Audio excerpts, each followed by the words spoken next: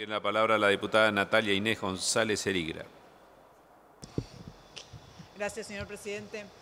Para repudiar el decreto 702 de las asignaciones familiares, hemos presentado un proyecto de nuestro bloque para que este decreto se derogue, porque justamente el ajuste sobre las asignaciones familiares viene a confirmar la jerarquía, las prioridades, la orientación social del gobierno de ajustar a millones de familias trabajadoras, mientras beneficia, por otro lado, a las patronales del campo, como hemos visto, que le ha rebajado las este, retenciones.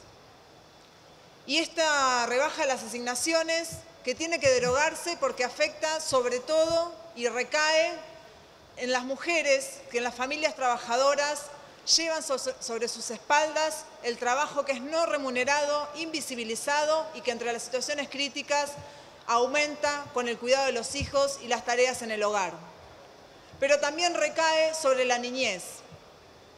La niñez que es cada vez más pobre en nuestro país, como se ha mostrado estos últimos tiempos, las estadísticas y las encuestas que se han hecho alrededor de la pobreza, que muestran que en nuestro país, como el estudio de la UCA, hay 84% de niños pobres, significa más de 8 millones de niños pobres en nuestro país, y el 33% de ellos se alimenta en comedores escolares o comedores barriales.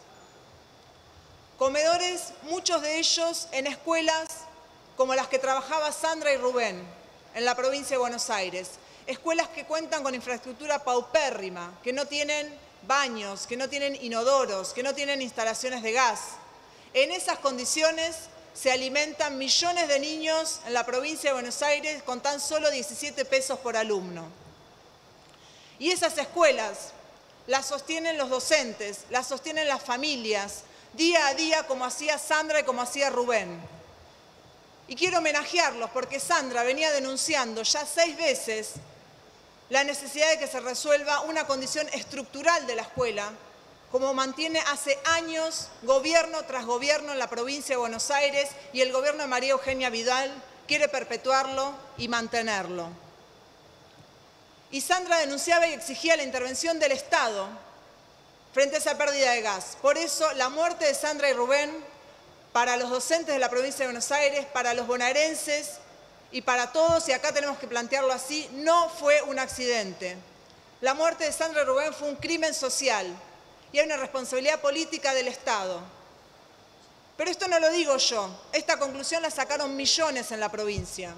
Y por eso los docentes, junto a los padres y los estudiantes estos días, han suspendido las clases, han parado la vida cotidiana, como ha sido la conmoción de estas muertes, y desde cada una de esas escuelas se han organizado y están movilizados por miles en toda la provincia de Buenos Aires, para imponer una lucha por arrancar el presupuesto educativo necesario para reparar todas las escuelas de la provincia de Buenos Aires y para tener una educación que se merecen los hijos de los trabajadores.